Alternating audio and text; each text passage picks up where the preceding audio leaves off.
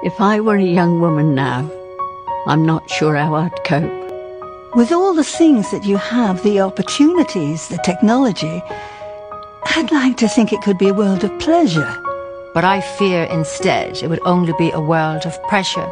Pressure to be the perfect mother, the perfect wife, the perfect friend. Pressure to be successful, a boss, a leader.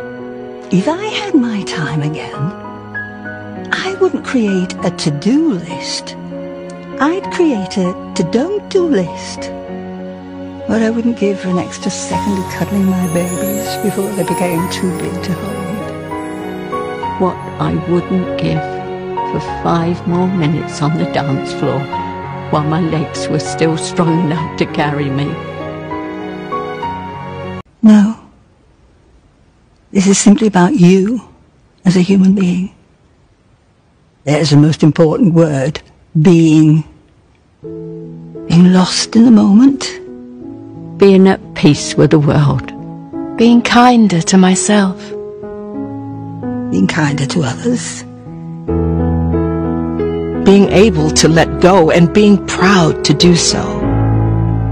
Believe me, if I were a young woman now, I'd spend more time being. Not doing.